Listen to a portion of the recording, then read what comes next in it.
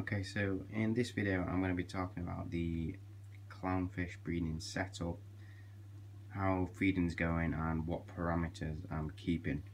So, at the moment, parameters I've been keeping around about 77 to 79. Obviously it's at 76.5 this morning, but it does fluctuate throughout the day. Um, it's in the morning, so it's still kind of warming up. It's been a bit cold this morning. Um, so it gets to about 79 in the afternoon if it's a warm day. As you can see, my plant pot, sorry about the reflection, you see my plant pot set with a um, an anemone inside it and as you can see there's some rose bubble tip anemone kind of on the side and yet another anemone behind the pot. Now I've had this pair for about a month now.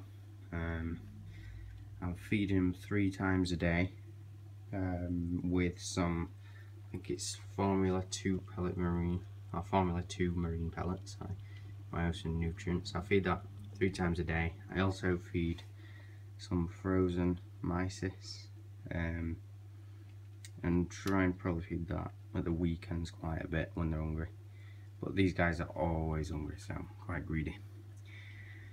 Um, some important tips I can have on the breeding is to make sure you don't faff with the tank. So once the pot's set and they're used to it, where it is, don't don't try and move it. I've actually stopped um, hoovering the gravel as much because I want to try and get them as comfortable as possible.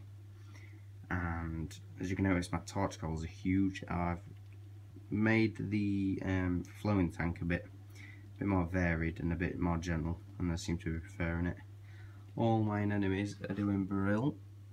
Stopped faffing, like the higher temperatures were just dying, killing them off really. But there's one there, there's one tucked in that rock there. It's quite a big one that. Um, that was from the original I put in about a month ago. So yeah, these guys are quite happy. So if anyone's got any tips or further tips they could give me on breeding these two guys, I'd be happy. Um, and I'll probably do another update um, in a couple of months for the specifically for the breeding of the clownfish see if I've had any more updates or anything like that. Um, the female does seem to be getting in the pot a lot more and seems to be cleaning it out every now and again but I don't think they're uh, quite there yet. I don't think the male is probably old enough yet. I'm not quite sure how old he is but the female seems to mark territory quite well in there she keeps like flicker the back tail to clean it out. Um, so yeah, she's kind of liking it in there. But yeah, so really you just need to not interfere as much. That's why I've turned down the cleaning a bit. But I'm still trying to do as much water change, just not gravel, uh, who the gravel. So yeah, I'll be back with an update specifically for the breeding. If you've got any questions, please put in the comments below and don't forget to subscribe.